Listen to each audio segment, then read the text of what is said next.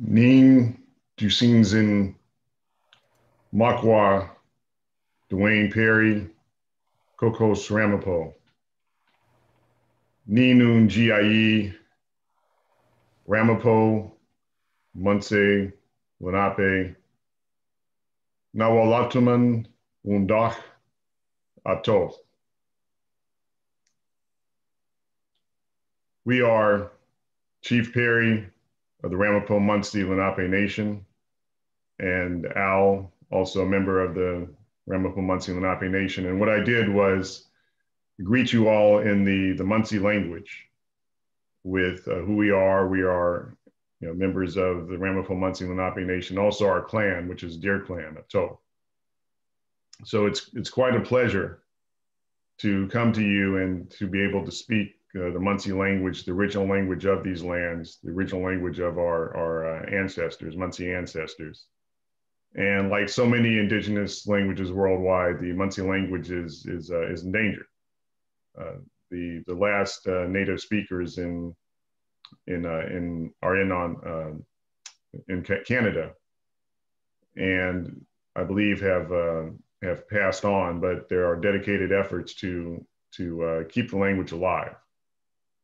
And I just wanted to say a special thanks to our language teacher, Karen, for helping to keep the language uh, alive. I mean, it'll always be alive in the sense that it is the original language of these lands, and even the name Manhattan is is a is a Munsee word. It has different translations, or people think of it as differently. Some people call it land of uh, many hills uh, recent translation said is land where we got our arrows from.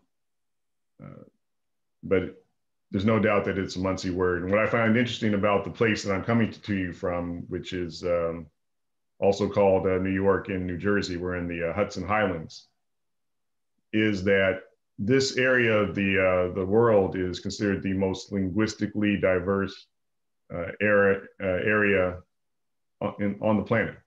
So there's over 800 different languages spoken in the area. But it's only until recently that Munsee has has returned as as the language of human beings and, and people people talking. And it's very important that we we speak Munsee language, even greetings, uh, like in good morning, uh, Wulu Wapin, because that keeps the language alive and it keeps us connected to to uh, you know our ancestors, uh, both both human and and, uh, and, and non-human ancestors. So we had a solstice uh, uh, ceremony on Sunday, and Chief Perry, and he may talk about this later. He talks about how the hoop of the nations in these lands was was first broken here this is where we had the first contacts with, uh, with colonization. Uh, in our case, uh, the Dutch were the major power that we had uh, interactions with uh, 400 years ago or so. So when Chief Perry says the, the hoop of the nations was broken here and that we had communications with other indigenous people all the way to the Pacific Ocean, you know, my rational mind is thinking, you know, how can that be? And one of the ways that is is that, that you know we're all connected.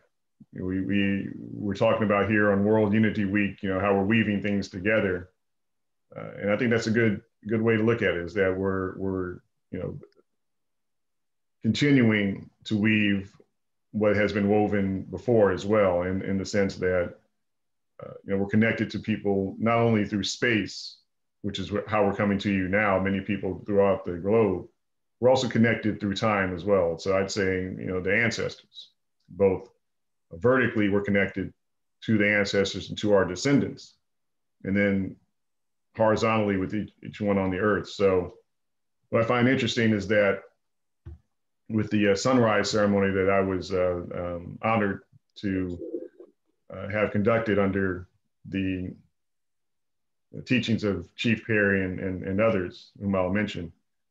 Uh, it's a way of reconnecting. Uh, and so when we stop those ceremonies, or rather when those ceremonies are disrupted, which they were in the colonial era in particular, uh, but even to the modern era, it, uh, even now we're under severe threats to our, our lands and, and our place. Uh, being able to conduct those ceremonies helps bring us back to a, a good place and helps us in terms of surviving and going forward. So when those ceremonies are disrupted or when you have a break, you know, that only, not only affects that not only affects the people here, but it has a ripple effect throughout the continent. So and you can see that with the with the waves of colonization, the warfare, the displacement, the dispossession. You know, those waves started on the East Coast and then moved moved west. So I'm going to to say one of our, our morning prayers, which was also reflected in the, the ceremony we had on the solstice. Anushik Kishelamokwen. Anushik Huachi Manadu, Elamiliang, Kokona Ki, walk, Kishok, walk, Nipahum, walk, a long way walk, walk, Pepe Takwik, Anushik, Anushik, Anushik, Anushik.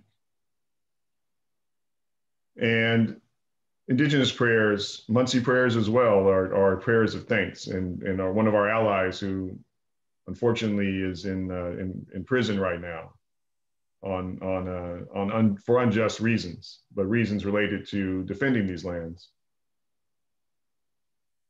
He, uh, uh, Harold Molt, he brought up a good point that, that in the, in the Mohawk prayers, which is also reflected in our prayers, they're, they're prayers of thanks to stated differently than the way we usually look at prayer. It's not let me, for back, lack of a better word, the Santa Claus prayer. It's not that, you know, may I get this. I mean, not that we all don't have desires that we want to have fulfilled. Even our desires uh, have have a have have a place, but we build upon a recognition that what we most need in this world we already have. So the prayer that I said, the sunrise prayer, starts off with the, with the word, our word that would be translated in English as, as thanks, anushik, anushik. Anushik ki shelamokwing, ki shelamokwing. And it's a very sophisticated concept. And, and uh, you know, not having grown up directly with the tradition, I'm, I'm amazed at, at uh, really how, how physics, my study of physics, uh, basic study, helps me understand these indigenous prayers. So Ki Shelamokwing. Ki Shelamokwing is can be translated as from whose thoughts we arose, or who created us from thought. Thank you, who created us from thought. And so it's kind of a recognition that uh, you know our thoughts are are real. And sometimes I think the mistake we make in the modern industrial world is that the only thing that seems real to us is what's tangible. And what this is a realization of is that you know our thoughts, desires have a reality as well that we really need to pay attention to. The Latin American scholar uh, Eduardo Galeano, or rather it was uh, Carlos Fuentes, he uh, had an interesting perspective on, on the present moment, the now. He says that the past is always with us except oftentimes we don't recognize it for what it is, and, and that's memory. So we remember in the present, memories in the present, and, and that's past. That's our connection to past events. It's not like we have past here and then we have present here and we have future here. They're all interconnected. The way the future manifests itself is through mm-hmm. through desire. So we have desires in the present and we have memories in the present. So Kishelamokwane, when we say thanks, Anushi Kishelamokwane, we are in a, in a way uh, honoring and giving thanks for you know our, our future based on also what we've had in our past as well. Anushik Huachi Manadu, Anushik Huachi Manadu. And that's interesting because in, in other related, related languages like Unami, they say Geechee Manadu or Geechee Manitou. And you can see variations of that through many different Algonquin languages. The Munsee dialect, we say Huachi Manidu, Huachi Manidu. And the concept of Manidu is, is very uh, central to the culture, both past and present. And again, this is where physics comes in. I think physics has the best English translation for Manidu, Manidu being oftentimes translated as spirit, and the idea that everything in the world has spirit the human world, the, the, the four leggeds, the animals, the, the birds, uh, even the, the, the, stones, the trees, uh, even the medicine. I have sage here. This has Manidu, this has, has spirit to it. And in physics, they have the concept that energy, that everything in the phenomenal world has energy. And that's the great revelation of uh, Einstein's theories of uh, relativity. You know, E is equal to mc squared. What that is, is the equivalence of energy and matter, that they're not different and distinct and separate from each other, that they're different manifestations of the same underlying reality. And that greater reality being actually energy itself. So matter, whom we all are, is an expression of, of energy, a fundamental expression of energy, matter and energy, the equivalence. Speed of light squared being a, a way to measure, um, I guess, the equation. That's a measuring device in the equation.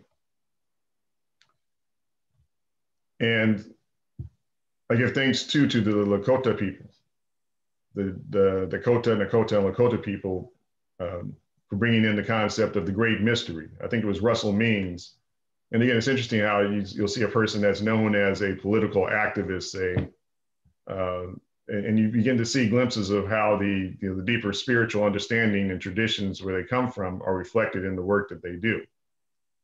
So Russell Means would say that uh, you know, the, the, the better term or the better approach is to talk about the great mysterious or the great mystery. And I think that's also a, a, an excellent way to look at uh, at uh, Kishalmokwing or Huachi Manidu is, is a recognition that a lot of what we consider to be reality is beyond thought, beyond our comprehension. I mean, it's, it's somewhat a bit of an arrogance to think that we can consciously comprehend the incomprehensible. Elamiliang, Elamiliang, for giving to us. So even before we ask for anything, for giving to us. Elamiliang, Kukana Aki, Kukanaki, which is um, Mother Earth, Aki, Earth, Kukanaki, Mother Earth. And it's interesting that that concept is so powerful. It seems they've even penetrated our, our modern industrial minds in the, in the English speaking world. It seems like we've lost such a connection to the, uh, the sacred uh, that I give thanks for that word, Mother Earth, because that's a direct translation. And it's, uh, something that can be understood by by uh, people even in our modern industrial world. Sometimes I think it's not so much that we've evolved, but we've devolved and need to re-evolve. Uh, Anushik Kishok, Anushik Kishok, thank you, sun. And in the ceremony that we had for the alliance, Roger Jock, the uh, the elder and and uh, traditional longhouse representative from uh, Akwesasne, uh, I like the way you refer to uh, the elder brother as uh, the sun is the elder brother. You know, I'm not sure if I'm quite there yet. I think I, think I like uh, a more uh, parental father, perhaps, is uh, the word that's often comes up. But the elder brother, it's, a relation relationship. I mean, where would we where would we be without the sun? We wouldn't be without the sun. There, there's there's no way to, for us to imagine us as we are now without our relationship to the to the sun. Anashik Nipahum, Nipahum, the, uh, the moon. And actually, interesting fact about the moon that uh, many uh, geologists, my mentor, Dr. Jackson, brought up is that there's um, speculations in the scientific world that the moon actually was formed from the sun, that you had in the, in the primordial era of the universe, uh, another planet that actually came and hit the sun or interacted with the sun, and that the moon actually is part of the Earth that became the moon. I just find that uh, to be a fascinating story there. I don't know if it's true or not. I, I haven't studied that much uh, geology. But um, you know, since we have a, a, a free flowing format here, uh, just even even globally worldwide, the Hopi people have have uh, had a had a warning that's kind of intrigued me to this day. They they asked or they they told the or recommended to the, the NASA astronauts not to bring back any rocks from the moon. But of course, that's exactly what um, what the uh, astronauts did when they went to the moon. And I've always been intrigued by that that uh, warning. And what can you say? I mean, we we are living in the atomic age, and the same technology that you know takes us to the moon is the same kind of technology that leads to uh, to nuclear war. And that's one of the fundamental questions we have: is how do we balance our inquisitiveness, our curiosity, with uh, our need to be mindful of, of what we already know, which is that unless we have the good things of this planet, then we're not going to survive. So, to the extent that going into space exploration results in the destruction of what we have, we need to be mindful that you know perhaps there's other ways to to get to that kind of um, uh, knowledge. Anushik uh, Along Way Walk. Anishik Along Way Walk. Thank you, stars. And of course, the sun is uh, one star of many, many stars. And again, I've heard the uh, physicists say, the astrophysicists say, if you were to collect all the grains of sand over all the world and count them, they would be less than all the stars in our multiverse, our universe. So that's somewhat humbling to think that you know our star, as powerful as it is, is is one of uh, has many relations throughout the uh, universe. What I find interesting as well is that the uh, and it ties into the solstice is they say the universe is not only expanding but it's accelerating its expansion. It kind of reminds me of that drum beat. You know, you have the beat, you know, so you have the sound and you have the the space there. So on the solstice, it was interesting when we talk about directions. In some ways, that's related to the sun, one of the stars, and some of the uh, features we find in our sacred lands are also related to the Pleiades and star formations. So where we had our solstice ceremony is intimately connected to the to the cosmos. The physicists say that uh, everything moves. Every all matter, all energy is in movement from the smallest subatomic particle to the largest galaxy, it's always in movement. Interesting question arises as to you know, why do we go clockwise or counterclockwise in ceremony? And that really depends on orientation. Uh, Floyd Littleson, one of our elders, said that uh, we Munsee, Ramapough Munsee people, we follow the uh, uh, the sun. Sun rises in the east and sets in the west, according to how we visualize it. So we follow the path of the sun when we go clockwise. The Haudenosaunee, they go counterclockwise. And he said that's because they follow the earth. Because when you think about it, the earth is actually rotating uh, west to east. That's why the sun appears in the east because the earth is rotating that way. So it appears, although the sun appears to be going this way, really what's happening is the earth is rotating this way. That's why the sun appears to rise in the east and set in the west. But what it all comes down to, whether it's counterclockwise or clockwise, it's not right or wrong. It's about tradition and it's about being aware of how we move in, in, in the world itself and how we perceive the world. Um, Anashik Pepe Takwik thank you lightning and that's one i'm still trying to to understand uh, we had some some uh, wonderful lightning uh, effects or lightning came to visit us last night in these lands and and it's uh, it's, it's interesting how something so powerful uh, only lasts a, a, a, moment a moment in time and i was counting the the uh, the space between the lightning and the thunder and i think it was about 13 seconds i'm not sure how many miles it is like 10, 10 miles or so, but you know, you had that brief flash at night. And it's just a reminder how, how powerful the, uh, the, the lightning is. So uh, yeah, that was part of the the basis for the um, you know the sunrise uh, ceremony, and and again, it helps me. The language, the prayers help me uh, keep my own sanity. I mean, uh, when we had part of the ceremony near the the, the stones on the plateau there, uh, I was reminded of a, a, tragedy that occurred to a community that I was in in uh, 2007 uh, April 16th. And that, that, that date is seared in my memory because that's the day they had, uh, there was a, a, massacre of 33 people in um, at Virginia Tech where I was teaching at the time. 33, you know, and no one really, none, none of us imagined that was going to happen where we were. I mean, of course, that's the reality in modern day United States. We don't know when someone's going to, to blow up and it happened there at that time then. And actually, I happened to be in Washington, D.C. I mean, it was one of the few times during that period of time I'd been out of town. I just happened to be out of town that time. And I was trying to make sense of it, and I, and I, I couldn't. You know, I mean, none of the people there deserved what had happened to them.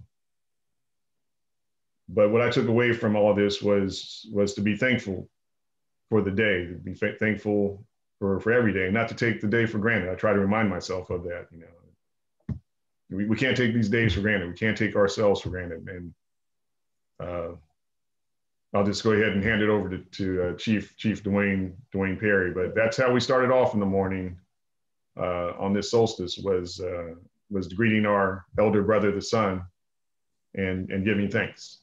So Anashik, um, Unity Earth, and and I'll, I'll hand it over to, to Chief Perry. Benmi makwa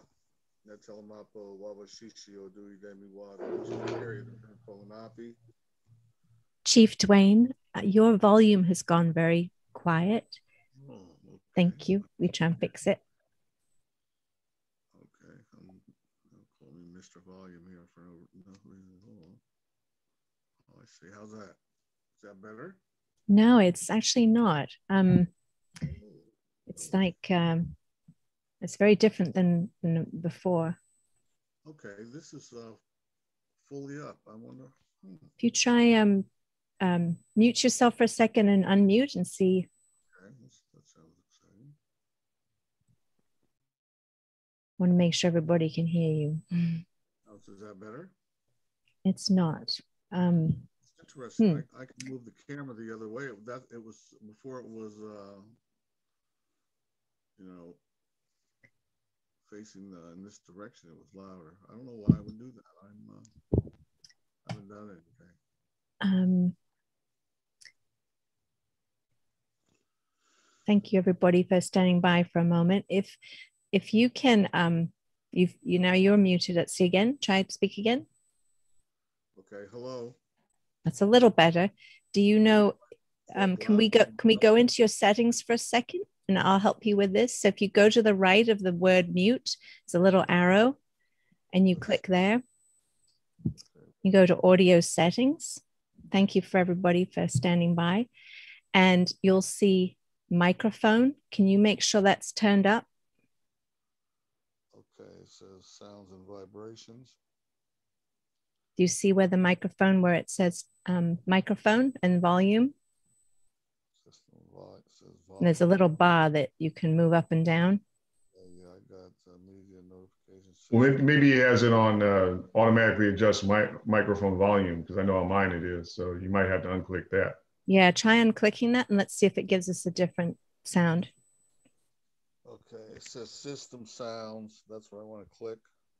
Yeah, where it says audio settings, you're in audio. I got to be the only person with audio settings. System sounds, vibration controls, quality and effects.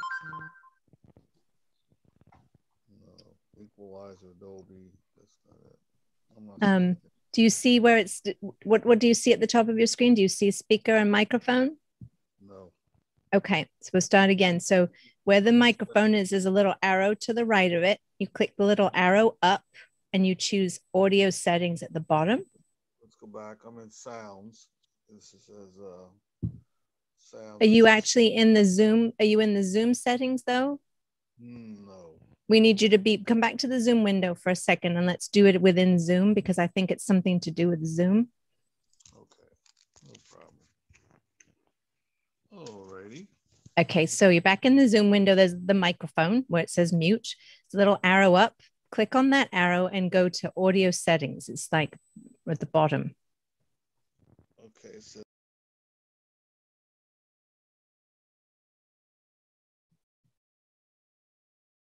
Do you see it?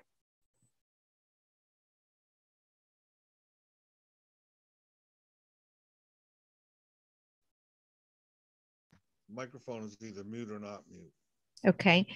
Do you see, well, do you see there's a little arrow to the right of the microphone? No. Okay. Um, do you see stop video and mic mute and stop video? Yeah, stop video. And there's not a tiny little arrow in between the the microphone and the start video? No. Okay. If you go up to Are you, go- are you on your, are you on your phone or are you on the computer? I'm on the phone.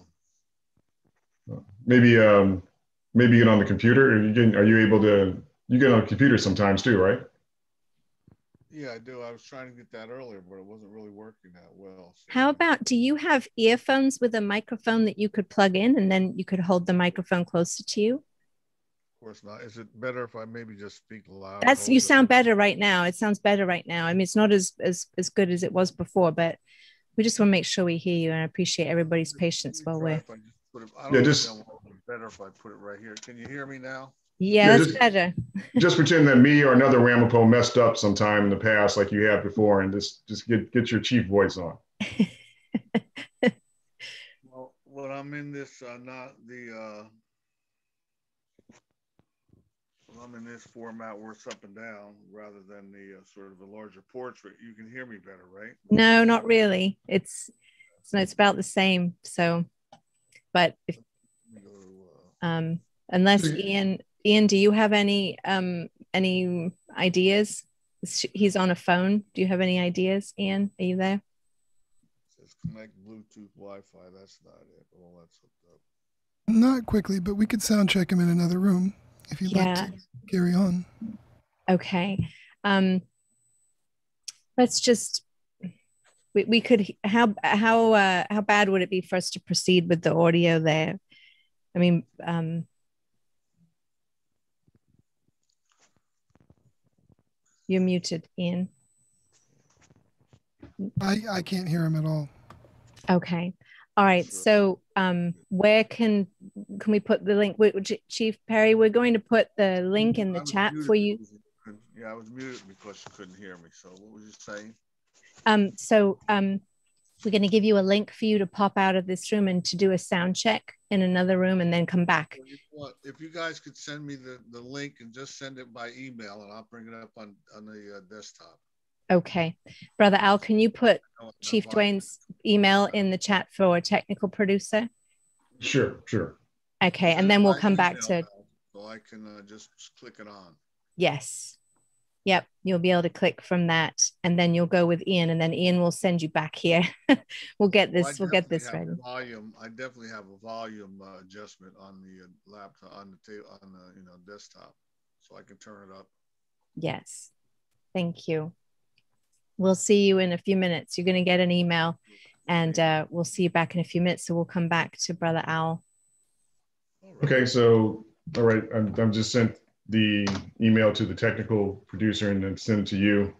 Thank you. Um, yeah, we can, uh, I, I, I guess I'll just jump into a discussion on the, uh, the great law of peace. Thank Uh, you, Brother Owl. Yes. So the second part of our program, which was really uh, orchestrated by, by Chief Dwaine Perry, was a commemoration of our renewal of our alliance with the, uh, the, the Mohawk Nation. And their land, and it's, it's important uh, uh, to bring up the fact that Mohawk is not their name for themselves. In their language, they are called the Ghani and Gahaga, Ghani Gahaga people. People of the, the Flint is one of the translations I've heard, and, and there's others.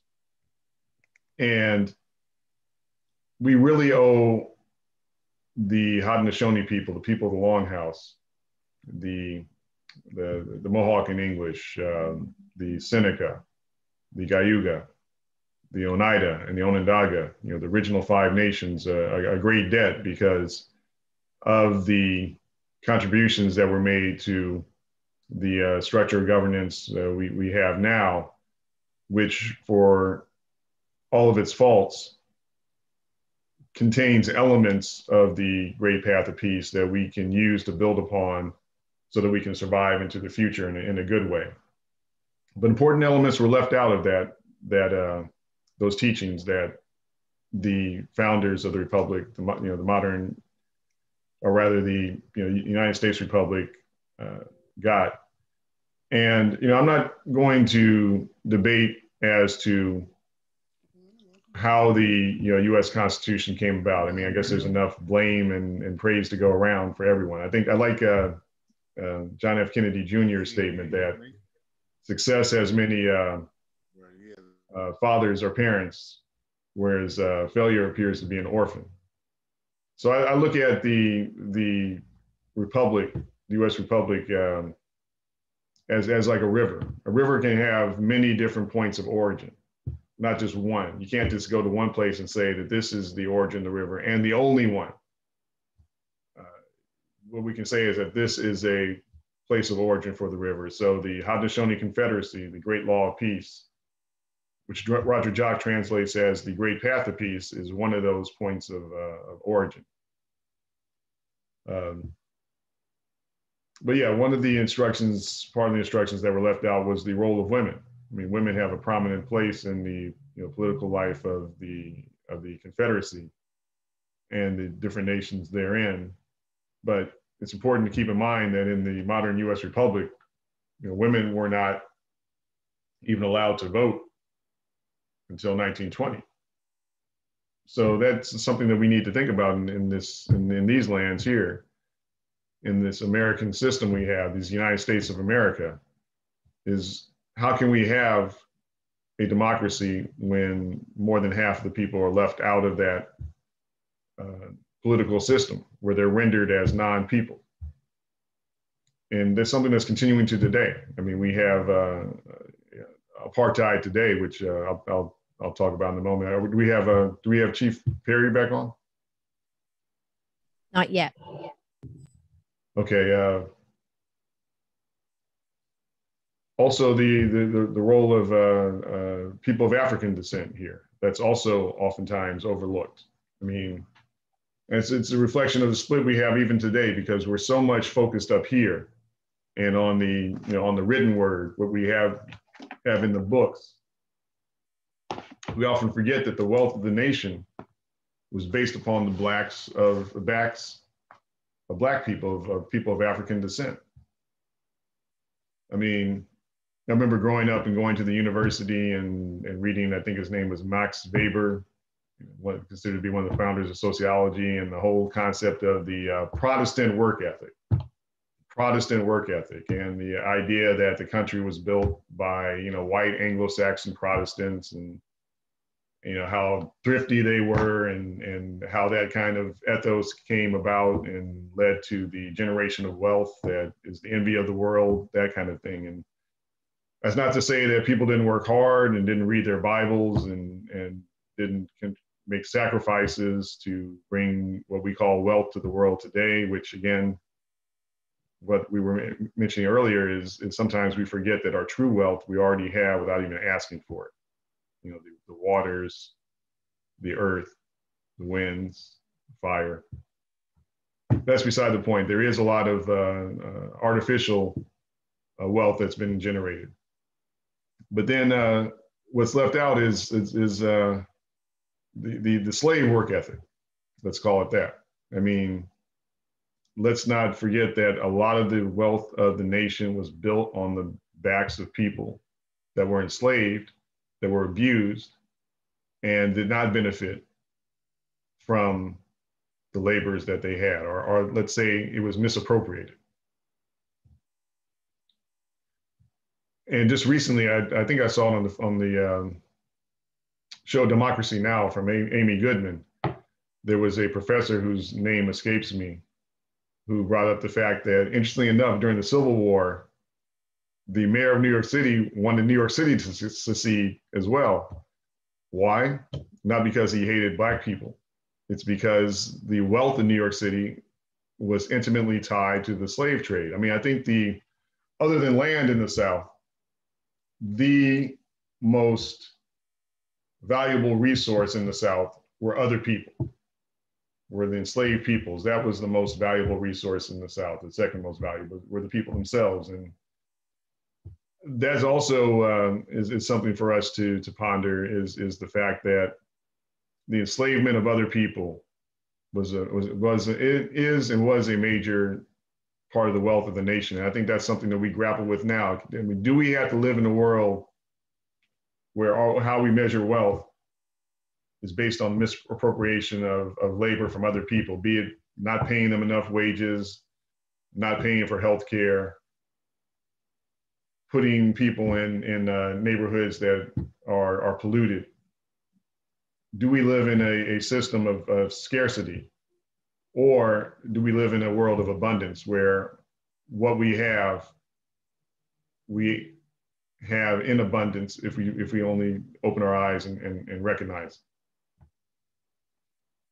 What uh, Gandhi uh, brought up, and it's interesting that, that Gandhi had a, a statement on the uh, Hindu scriptures, the Bhagavad Gita, that I think is very relevant to to uh, us in these lands here. And what he said was he he gave um, honor to the uh, Isha Upanishad, and the first phrase of the Isha Upanishad, which is from fullness, fullness comes, yet fullness remains. And there's a particular um, translator, Eknath Easwaran, uh, who translated that in English, and the commentary was quite, uh, quite insightful. And what Eknath Easwaran said was that that phrase really is revolutionary and how Gandhi honored that phrase. He says, he said that if you burn down all the scriptures in the Hindu canon, and of course it's quite extensive, and even in the Upanishads, if you were to burn down all the Upanishads and the only phrase left was that phrase, the Isha Upanishad, that Hinduism would survive. And again, that's the realization that we live in a world of abundance, not scarcity. But we live in an economic system in which we're trying to create a world of scarcity be it water, be it attention from other people. So, in many ways, we here in the East, as Indigenous people, are, are in that that situation of almost everything have been being destroyed. But what we do, what we do have here in the Ramapo Mountains is we have our, our land that our ancient ancestors lived on. We are, we're their descendants. And the land itself is a, is a book. The land itself is scripture. So that's one of the reasons why we, we take a stand in, in uh, support of the water, in support of the, uh, you know, the air and the land itself, and because that's what it means for us to be Ramapough and what it means for us to be Munsee. So I, I see Chief Perry's back on, and hopefully we have some uh, some sound now.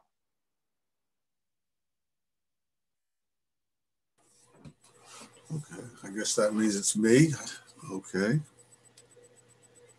I'm Unmuted. Okay. Gikiai Benny Bakumakwa, Natelamapo, Wawashishi, Odui Demiwa, Ramapough, Lenape, Munsee. Greetings, everyone. I'm Chief Perry of the Ramapough Lenape, the Munsee people of the uh, New York, New Jersey border region as it stands now. I apologize for the technical difficulties and Owl, I missed quite a bit of what you were speaking about. Um, what I would like to do is like to, we had a most astonishing event, actually a number of events yesterday, and I would like to not just recap them, but I think they were far more, uh, the importance of them carried itself beyond the moment. Initially, I'd like to speak about the solstice. It, it's on our the top of our mountain on the Tahita Way the gate that opens. And the interesting thing that we found about our portal was as children, I always used to remember the elders would go up there, primarily the women, because it was considered a spot of, of power, a spot of, of cleanliness, a part of energy. And I can assure you, and if there's a, the other natives on here will know, you do not ask elder women why they are going into the mountains for ceremony. That would be tantamount to an eternal spanking. So, as it may be, one of the things that has been arisen recently as we found out, and I think this is extremely, uh, not telling, but extremely profound. I believe Owl may have may have touched upon it. The very first thing the people that came to North America did, first of all, you need to understand that most all of these portals in the world, I think there may be something in the neighborhood of maybe 30,000 globally. But the very first thing these folks did when they arrived in North America was to close the portal, not to meet the natives, not to not to settle, not to establish New York, not to become pilgrims, was to meet was to close the portal to extinguish the connection between the sacred and the people, to eliminate the sacred, the strength of the people from the earth. That's extremely profound. I don't want to sound like a Harry Potter fan. Are these people the same, uh, even the same species? Think about it. If we take it a step further and you think, well, the next thing was we're celebrating discovering America. Of course, it was in uh, Costa Rica with uh, Arawaks, but why the majority of the world was basically warning each other. Don't get in the boat. Watch out. Tie on a rope. You're going to fall off the edge. You're going to go to outer space. Watch out. Be safe. Some small handful of our relatives was going when we get the gold out of north america let's shoot to uh, peru get the emeralds back around grab the diamonds and go forward. Meanwhile, myself and others, uh, if, if indeed I was from there, are yelling, please tie the rope on, don't get on the boat. At the very least, some one of these folks had extraordinary knowledge of the globe and the world. And they've used that, that closing of the Tahitiway, that closing of the portal, to subjugate the, the, the, natural people of the world, the indigenous people of the world. That's profound. That goes beyond uh, Columbus sailed the ocean blue and George Washington. And to give a scale of survival, as there are so many marginalized tribal people globally, and from the from the American standpoint, it sounds so very exotic, and it certainly is. If you're in the Congo or the, uh, you know, they're in the Amazon and around, you're in, you know, various different uh, countries where they have they have destroyed the, the tribal people. I just want to bring a little context to what's happening there and what's happening here in New York. The major difference between the Ramapough Lenape Munsee people here in metropolitan New York and the rest of the tribal people in the world, and is in no way to, to belittle it, is we are in metropolitan New York right now, at this moment, there is much a land grab, a much of a subjugation of people, a much of a suppression of religion, a much of a, as can possibly be as initially. What drives that? It's simply we are in metropolitan New York.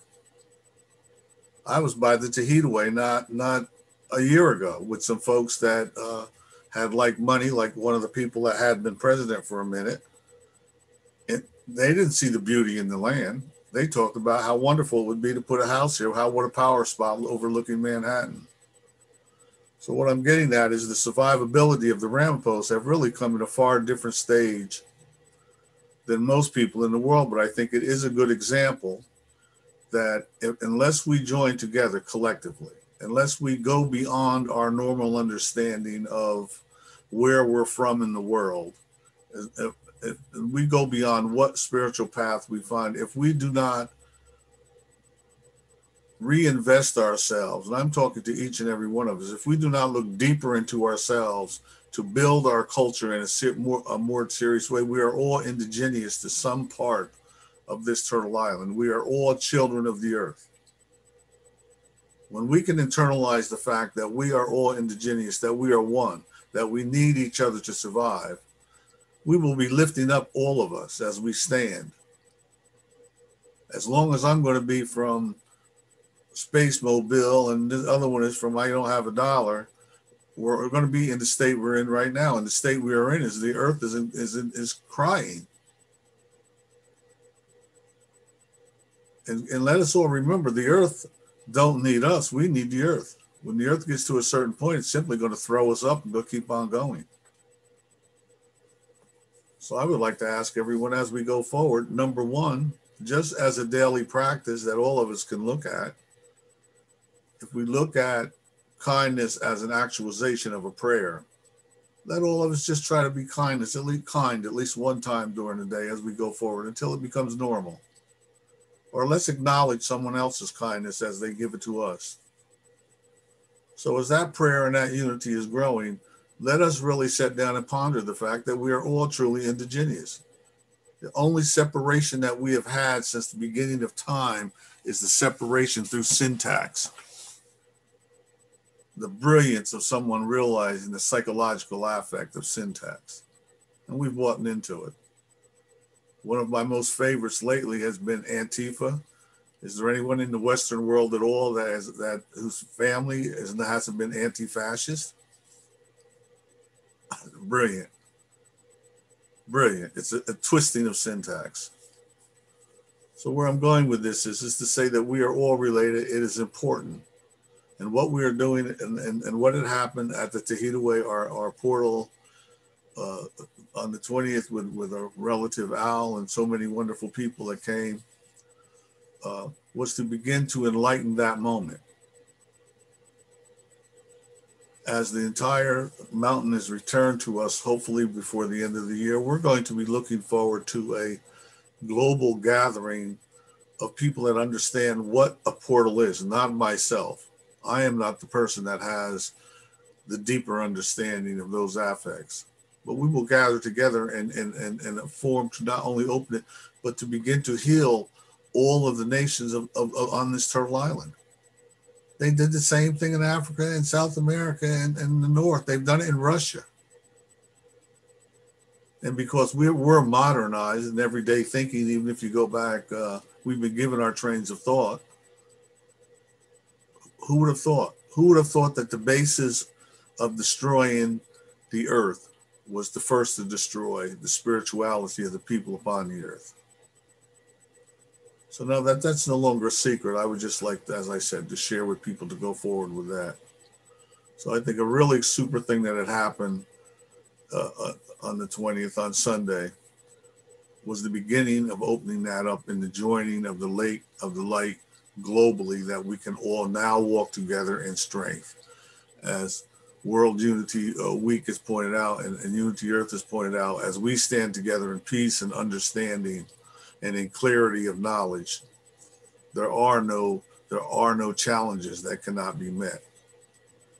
Another wonderful thing that appeared to be healing, and I know Brother Owl spoke about it, was our renewal of our alliance. And forgive me with the word Mohawk, but with our relatives, went beyond sim- a simple alliance. At one time, the history prior to the American Revolution, if the Ramapough had not separated from the alliance, there would not now be a United States of America. I think that's a big mouthful. But if you understand the fact that the that the Ramapough allowed what was then our redoubt, the Ramapo Pass, to be used by what was then the rebels, George Washington, uh, what that uh, that in itself, the very act of allowing the rebels to use the Ramapo Pass, essentially, the rebels turned out to be 5,000 French troops. It eliminated any strategic advantage and or surprise to the Europe to the uh, to the British.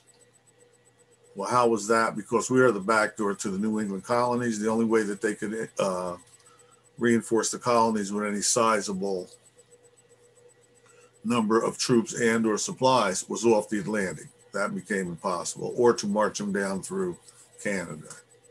So without using the Ramapo Pass, there was really no way to supply and to support uh, the British onslaught in the New England colonies. So I think it would become very clear, particularly if you're a, a, a Revolutionary War scholar, you would understand that it was that one simple choke choke point in the Ramapo Mountains through the regress of the Ramapough people that allowed George Washington, the rebel, to essentially establish the essence of what we are now calling the United States of America. I think it's also important to understand that the first 900 cannonballs fired in the American Revolution was made from Ramapough Lenape iron deposits. The fabled chain across the Hudson was made from Ramapough Lenape Munsee iron deposits. The Capitol Dome and the Lady of Freedom atop the dome were made from Ramapough Lenape Munsee iron deposits our thanks. And it showed the importance of the alliance and the difference in how indigenous people think and how people think they take. That the very first thing that happened once the revolution was settled uh, and, and America became an established country and people were celebrating the Fourth of July, the very first people that were enslaved in the United States of America was the Ramapough, Lenape, Munsee people. From that day forth, we have been written out of the, the, the American paradigm. We have been set upon to steal our land. We have been given a false culture, a false background. We have been set upon uh, for, to this moment with a complete onslaught of psychological affects that in many cases have even destroyed a number of our own people. But the beautiful thing about the alliance was, and I want to add this this is what the Europeans did. This is what the British did. This is not what the what the Mohawks did. We were in alliance with the Mohawks at one time. And did we have a conflict with the Mohawks? Yes, but they were relatives. Like now, they're brothers. They were human beings. They were indigenous. These were people that had hearts. These were not people that looked at human beings as commodities, that looked at the woods and the water and the streams as commodities. We simply separated on a, political base. We thought that the rebels meant they wanted freedom. We knew that the Dutch were people that, that captivated. So you might even say, even though we're on different sides of, of what was uh, considered a, a, colonial war, we were not in, inbred, uh, soulfully, dangerously enemies that would never be able to breathe a, a sip of humanity. After the war, the British enslaved us. Think about that. And the wonderful thing that the British did I think this is really telling. This didn't even happen in Germany after World War II.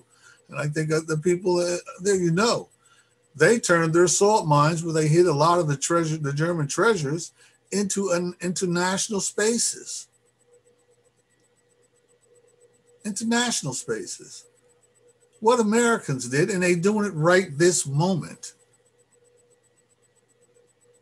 They turned the mines that gave us the cannonballs, the chain across the Hudson, the dome, the Capitol Dome, the Lady of Freedom above the dome.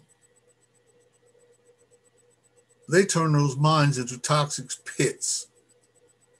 Toxic pits that at this moment has murdered approximately 30% of my people in the Turtle Clan.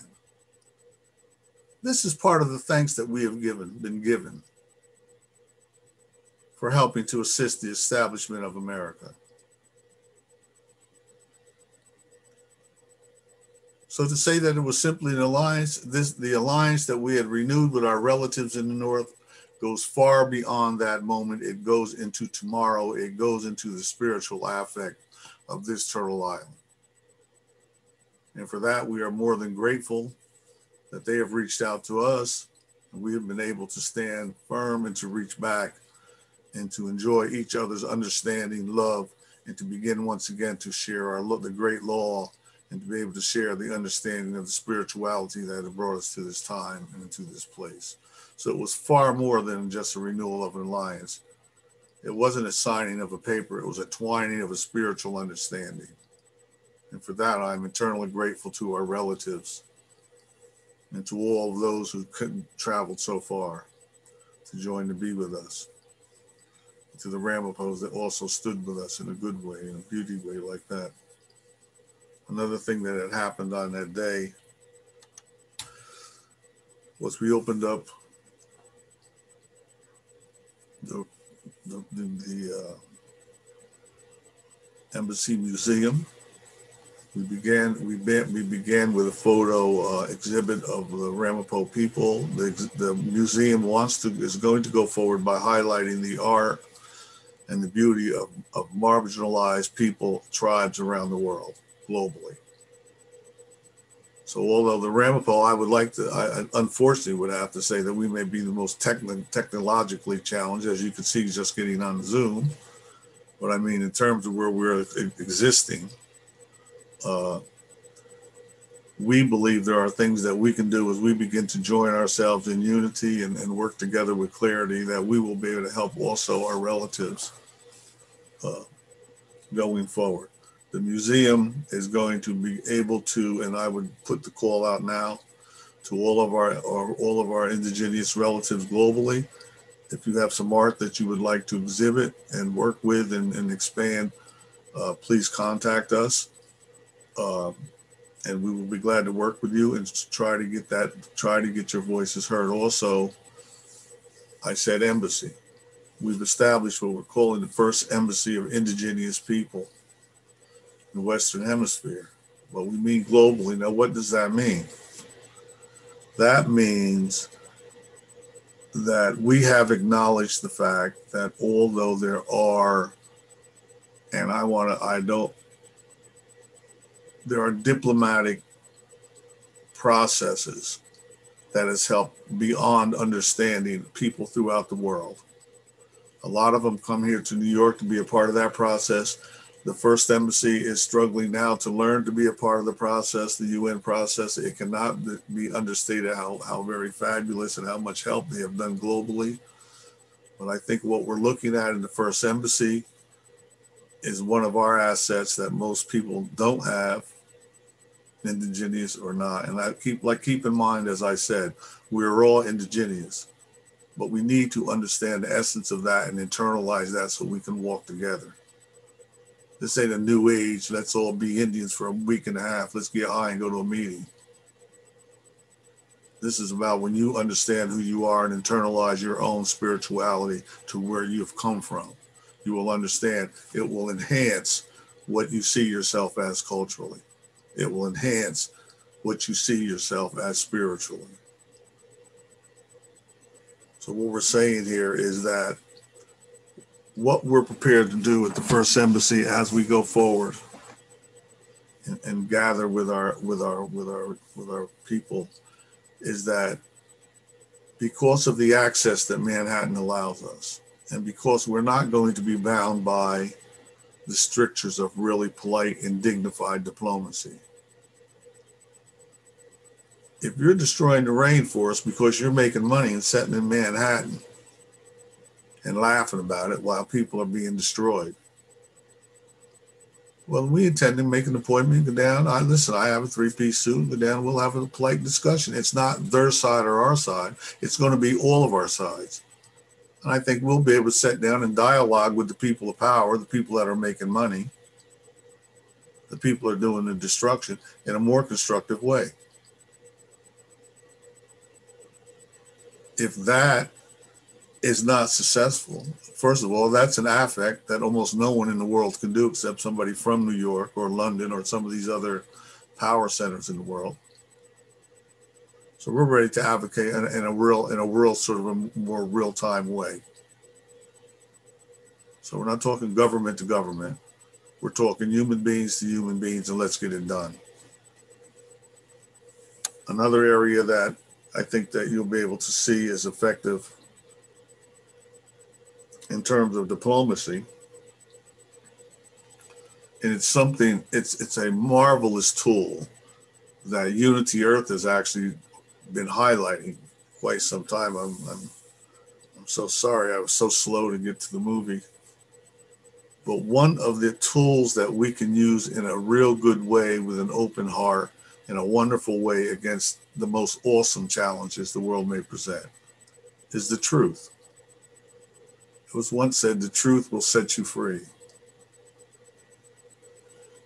I believe when you really tell the truth, let's unvarnish, not picking on, not uh, you highlight exactly what's going on and to allow that spotlight to burn, it will ameliorate a tremendous amount of, of problems going on globally.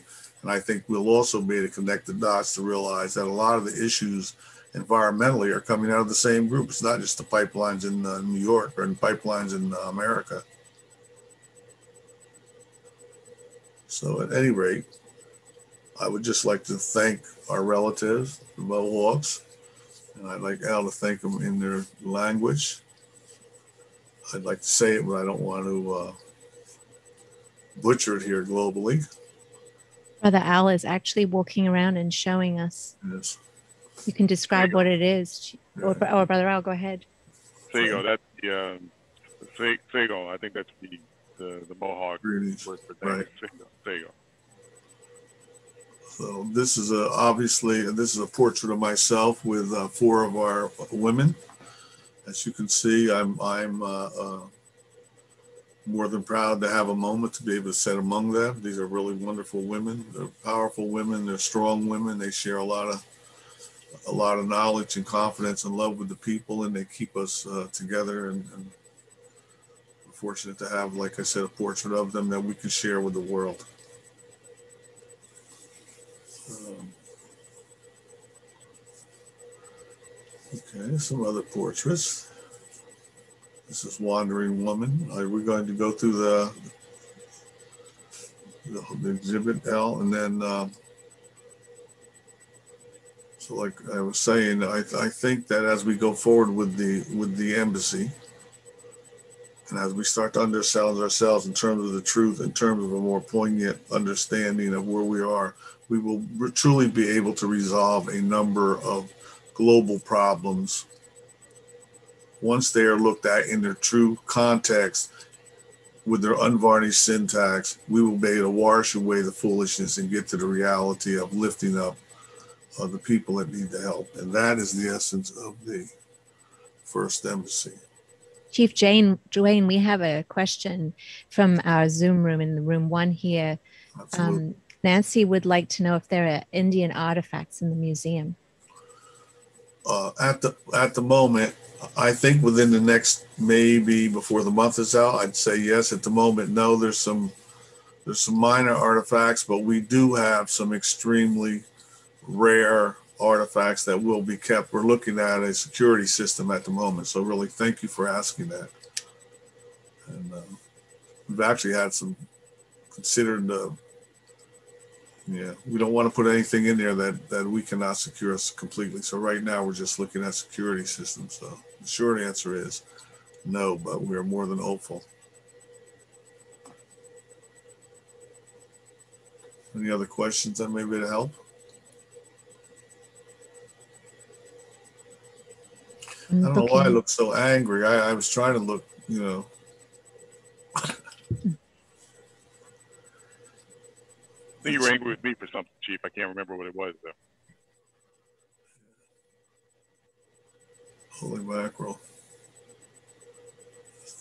Looks amazing. And where exactly is the museum, Chief Dwaine? Oh, yes. It's located at 125 West Main Street in Stony Point, New York. I've put in the chat for our um, for our room guests the yeah. website address and would just like to share so that everybody can check out the amazing website. It's www.ramapomunsee.org. And I'm going to spell that because it's a different um, yes. spelling. And I wanted to ask you about that actually, um, as the different spellings, but I'm going to spell it out for everybody so we, we can get you to check it out. It's R A M A P O M U N S E E dot org, ramapomunsee.org. You can check that out. Chief Dwaine? Yeah. The RAM, the M, uh, P O U G H spelling, uh, that's the Dutch spelling. That's the spelling. Uh, you, you all might enjoy this. Uh, that's the spelling that was forced upon us when we were enslaved. That was if you wanted to call yourself a right Ramapo and stay alive, that's how you would spell it. That's exactly the R A M A P O is the traditional spelling of Ramapo. Today we use both of them. One, uh, one sort of in ceremony, and the other one are in thought.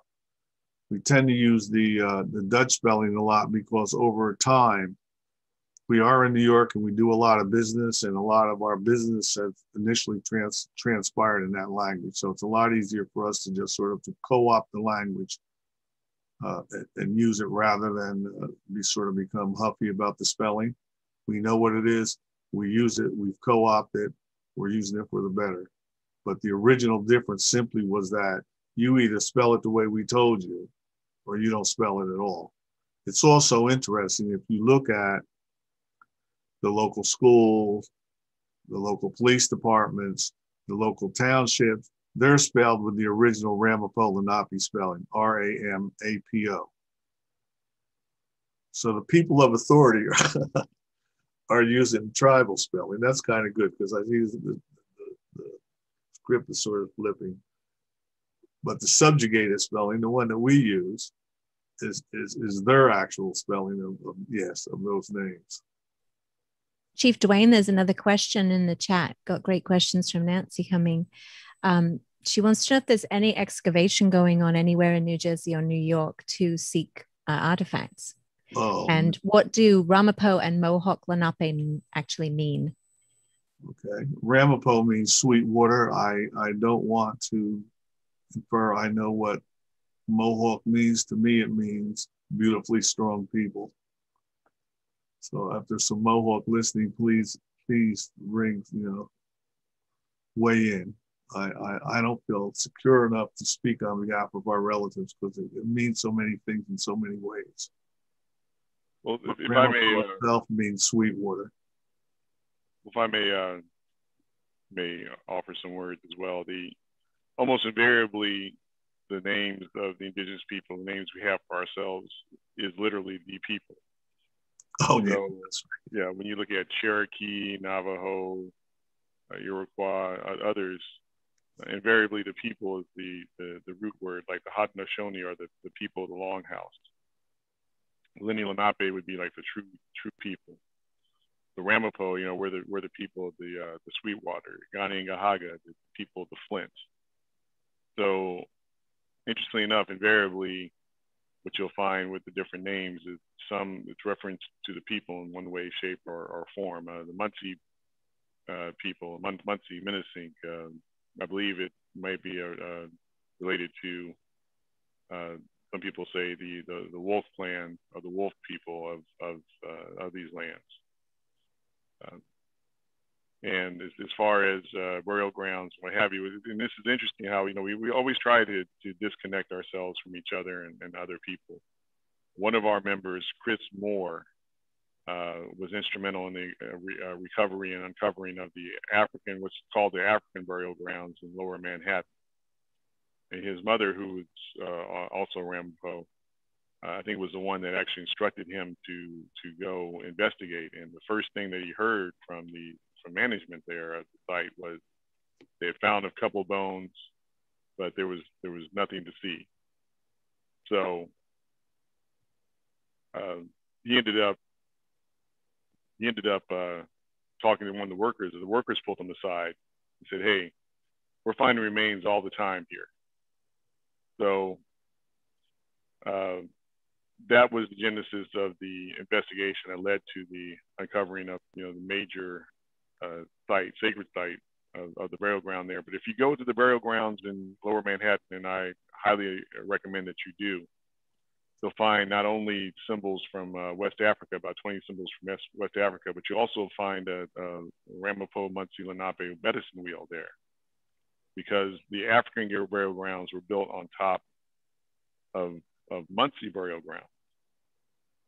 And that's also uh, quite a quite a lesson for us today as well. In that, again, we we try to separate ourselves from each other and from our past and our future, but we're we are uh, integrated in that way, in the way that many great rivers coming together come together as, as the waters come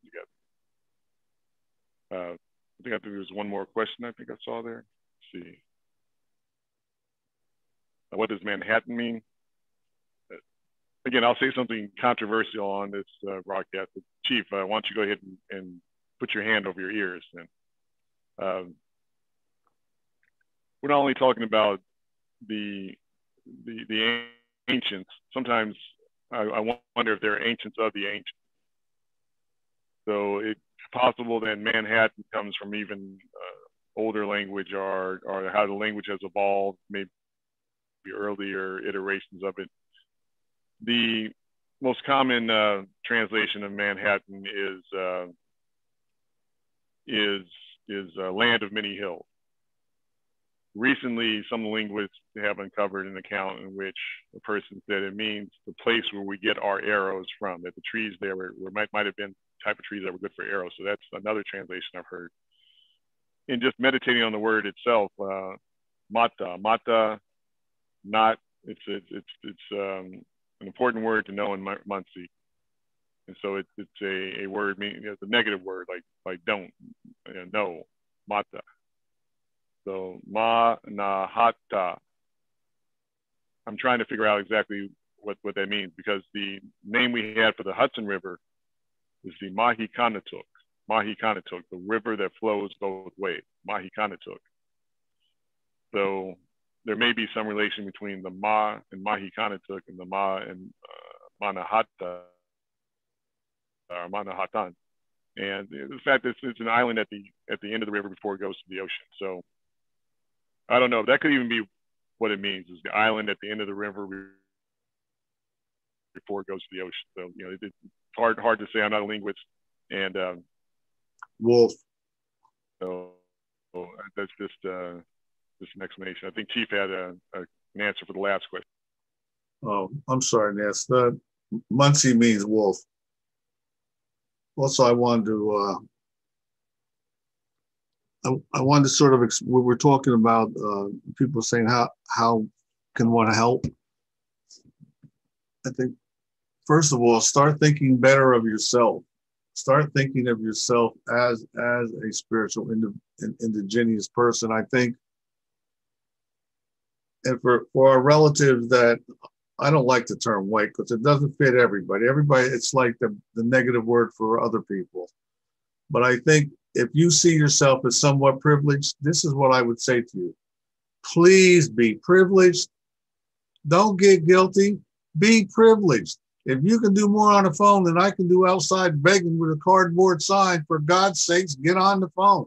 Don't come outside. I don't want to feel better about it. We want resolution. Be the wonderful, beautiful European based people you can be. And when you start to explore that, then look at your own indigeneity.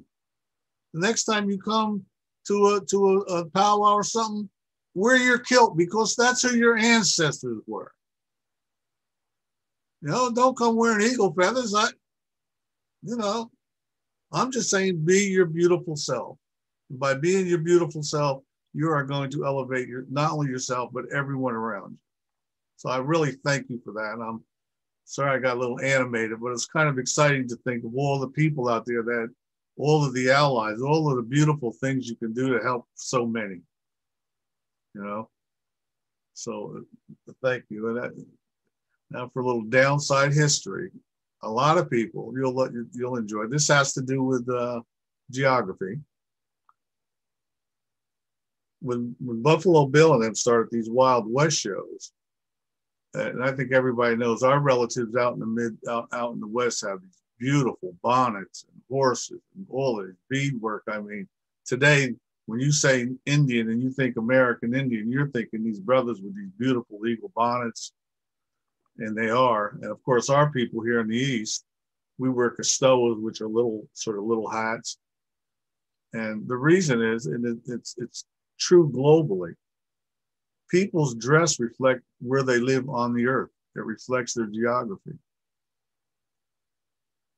Here in the East, we have a lot of woodland, a lot of brambles, no disrespect, but if these wonderful, beautiful war chiefs would show up here in the, all their magnificence in some place like New York, they would look like the Three Stooges trying to get through all this brush out here.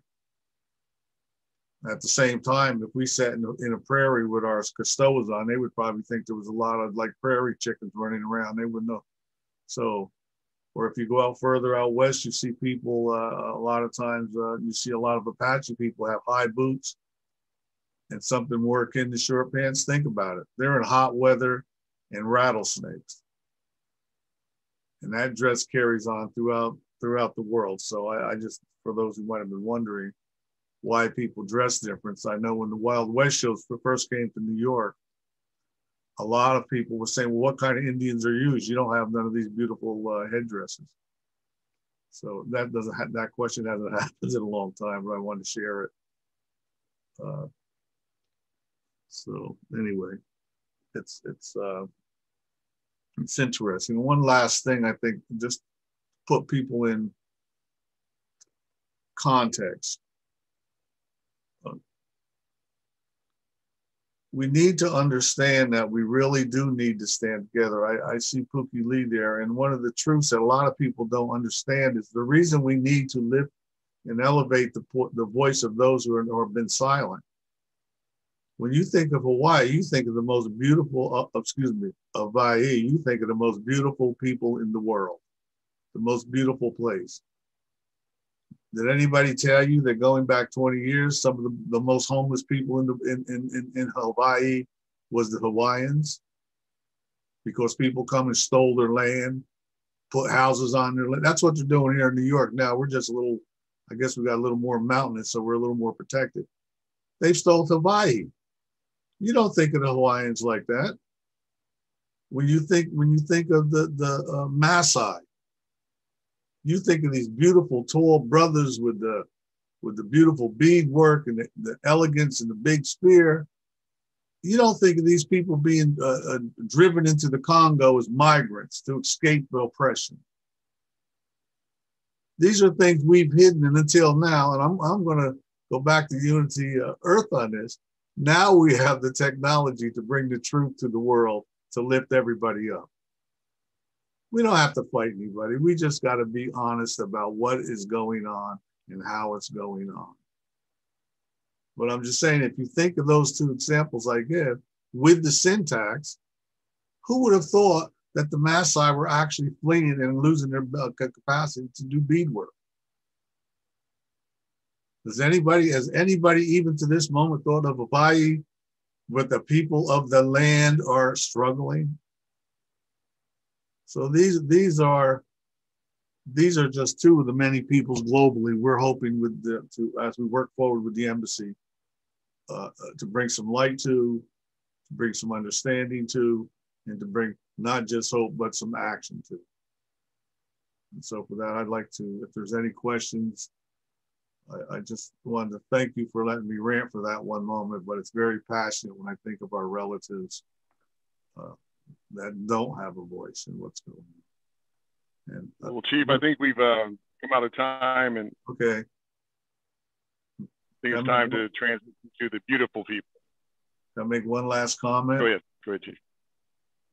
Right now, in this time, in this place, the reason that the truth can set you free is because of the technology you're seeing now. By applying the global technology that's being used right this moment will set all of us free and bring the unity of peace to all of us. And let me thank everybody for this broadcast and everybody's seeing it. I thank you. Anishi, Anishi, Anishi, Anishi. Oh, thank you, Ben. Thank you all. Thank you, thank you, Chief. And uh, we have the effervescent and always uh, alive and vivacious uh, Pookie Lee here. And Becky Suzik will uh, will talk more about the the event coming up here in uh, World Unity Week and and what's in store for us uh, here. And so, just wanted to say, everyone, thank you for uh, being part of this circle. And Chief Perry said, you know, we're connecting with each other not only horizontally throughout the globe at this time and place right now, but also with our ancestors and, and, our descendants because we really do need to connect with each other if we're going to move forward in a good way. So, so mm. uh, Anashik, uh, World Unity Week, uh, Purpose Earth, uh, Becky Suzik, Ben Bowler, and uh, looking forward to hearing from uh, Pookie Lee, Anashik. Thank you so much, Brother Owl, Chief Dwaine. That was an extraordinary time together.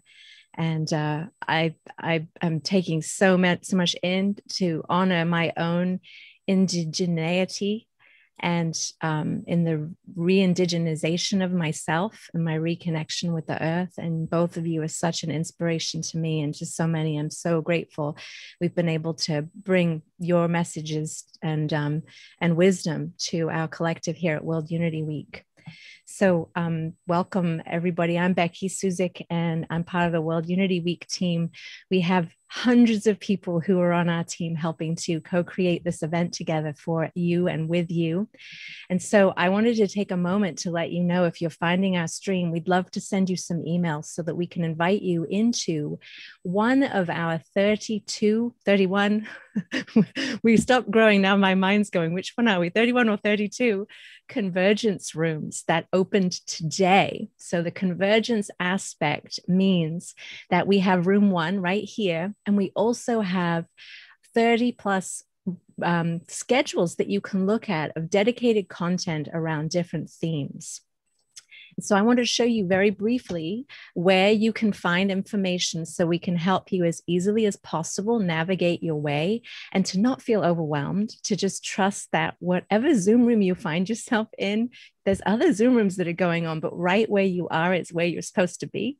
So just trust that. And the beauty I'm excited about is for broadcasts that I'm not part of, I'll get to watch the recordings afterwards as well as participate this week. So enjoy the abundance of this collective blessings and these gifts that are coming through hundreds of people from all around the world who are dedicated to World Unity Week. So, how you can register is you go to worldunityweek.org org forward slash participate. And you just check at attend and hit submit, and we will send you some email love.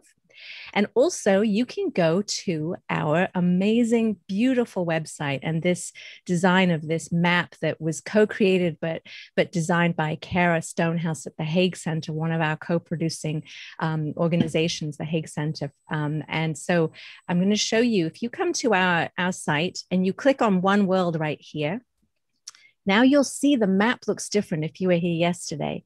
Yesterday it was just right here with room one, and, and um, we opened Sparkle yesterday. But now you have all of these amazing places to explore. And so I'm not going to click in there because I'm, I'm going to show you how you can you can actually click in there and, and, check out some rooms. But I want to show you the this particular room um, list really quickly. You can click right here to take you to the board of boards that will look like this. And these are the different topics of the room. So you can find your way in and look at the schedules. Or you can go down here and see the list of the convergence rooms with Zoom links right there. And it's okay for you to just click and jump in the Zoom room. You don't even have to know which event you're going into. If for some reason there's a healing circle going on, it may be closed, but but just trust. Play um play the the, the let's let's click a Zoom room and see, see what's going on because potentially there's things going in rooms going on in rooms 24 hours a day potentially. So you can look at all of the different descriptions of the different spaces and the different rooms that are here, like the May Peace Prevail on Earth each different convergence room has content and programs in the Zoom rooms, most of them uh, that, that, are about this particular um, description here. So it can help you see, oh, you know, I'm really interested in purpose based interest purpose-based business and social enterprise and you can just jump in the zoom room or you can click here to check out the schedule. So i wanted to tell you about that. And the other thing i want to tell you is if you are lost if you need help if you want to give help because you can join us to be part of our team you can team up with us. We're called team up you can jump in the hub. You see this mandala sunshine symbol, you'll see it everywhere. And this is personed by volunteers. So we have it open as many hours as we have volunteers to do it. So if it's not open at that time, try back half an hour later, it might be open. But we aspire to be there a lot. I hang out there a lot when I'm not here so um, click on there, and there will be some really amazing people that you'll meet in there that will help you find your way. So check out worldunityweek.org forward slash one world. You'll see it at the top, one hyphen world and be sure to register. So, thank you so much for joining us. We're going to end this stream, but we want you to keep watching because we're going to start a new stream with Pookie Lee, and she's got an amazing program coming up that we want you to jump in the Zoom room with us. Come to room one.